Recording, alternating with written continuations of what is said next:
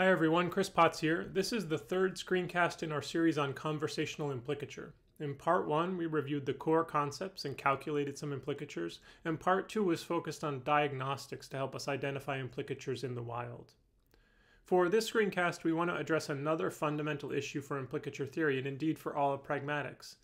To what extent are these proposals and findings universal, that is, common to people the world over, and maybe even common to any conceivable social agents in the universe? First, we could approach this independently of Grice and just ask, what would we expect in terms of variation around the globe? I imagine we'd feel two opposing pressures there, right? The intuition that people are fundamentally the same the world over, and the intuition that people and cultures are different the world over. Now, if we assume too much that everyone's the same, then we might not do justice to real and important differences.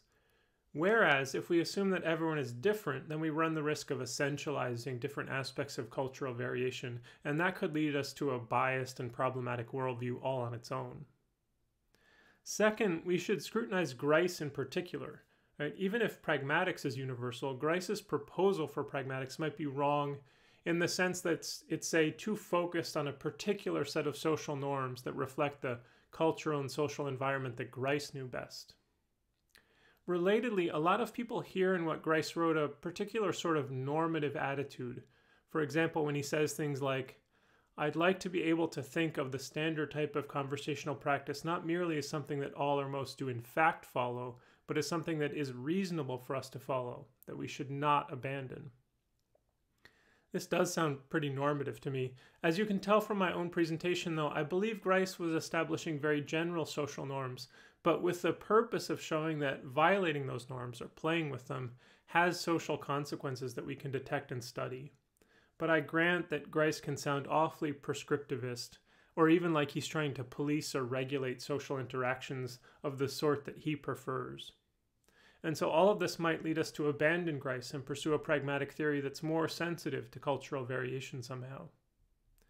However, I'd like to offer a different view. I'd like to argue that Grice actually achieved a pretty good balance between universality and being sensitive to pragmatic variation, and that the key to seeing this is to make sure to always consider the context as a vital ingredient in all pragmatic reasoning. That should go without saying, but it seems like it's often not properly considered. Context is everything in pragmatics. To engage with these issues in a more concrete way, I'd like to use this famous article by Elinor Ochs Keenan titled The Universality of Conversational Postulates. This article is based on anthropological work that Keenan did on Madagascar and Malagasy society in the 1970s. And she begins the paper with exactly the question we want to address. She writes In developing such notions, philosophers likely reflect on conversational conduct as it operates in their own society. The qualification is not explicit, however, and principles of conversational procedure are presented as universal in application. In this paper, we examine the validity of this assumption, focusing on the work of Grice, in particular on his notion of conversational maxim and conversational implicature. And from there, Keenan zooms in on the maxim of quantity, and in particular its clause 1 be as informative as is required. Later in the paper, she writes To what extent does the maxim be informative hold for interlocutors in Malagasy society? Despite certain clashes with other maxims, are members generally expected to satisfy the informational needs of co conversationalists? No. Interlocutors regularly violate this maxim. So that's the central observation, and Keenan provides a lot of evidence for it. The quotation continues they regularly provide less information than is required by their conversational partner, even though they have access to the necessary information. If A asks B, Where is your mother? and B responds, She is either in the house or in the market, B's utterance is not usually taken to imply that B is unable to provide more specific information needed by the hearer. The implicature is not made because the expectation that speakers will satisfy informational needs is not a basic norm. So, a pattern of being underinformative relative to the goals of the conversation. That is indeed flouting or opting out of quantity or experiencing a clash between quantity and some other pressure. Now, Keenan identifies two factors that help us get to the heart of these behaviors, I believe. First, new information is a rare commodity. Information that is not already available to the public is highly sought after.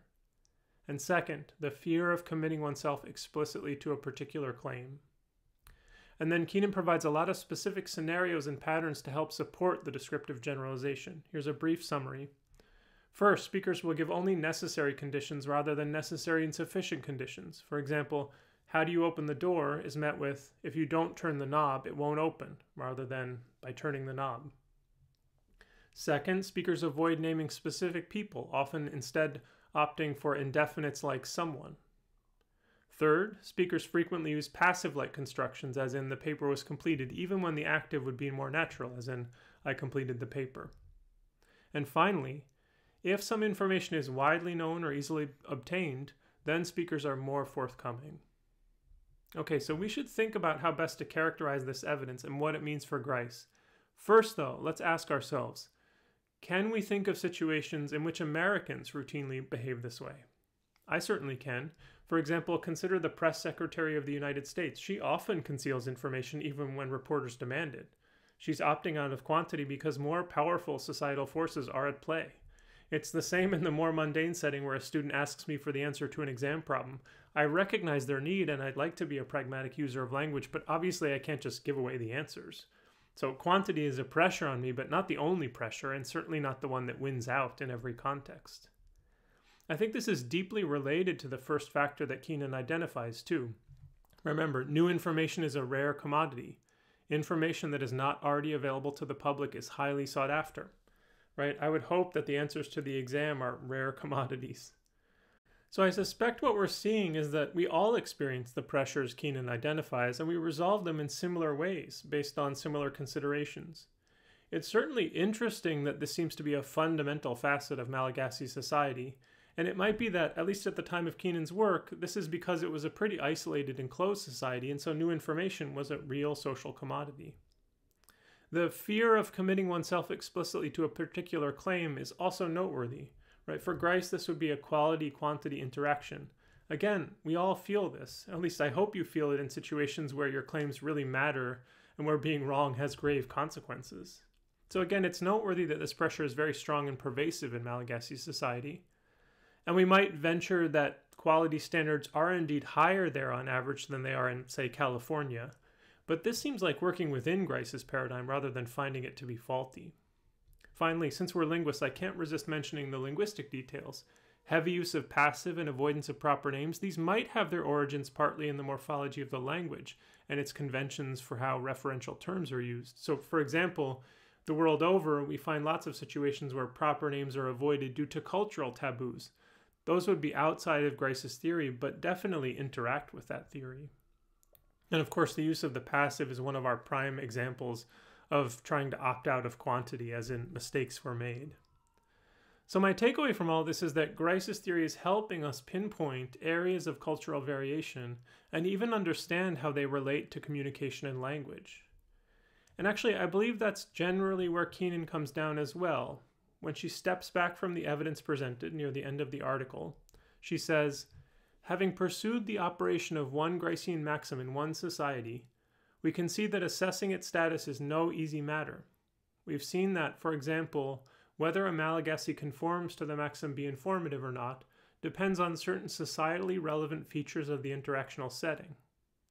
Grice, among others, has noted the possibility that a maxim may not be adhered to in certain contexts in our society, it may in fact be the case that the situational constraints suggested for Malagasy society affect the maxim in Western societies as well.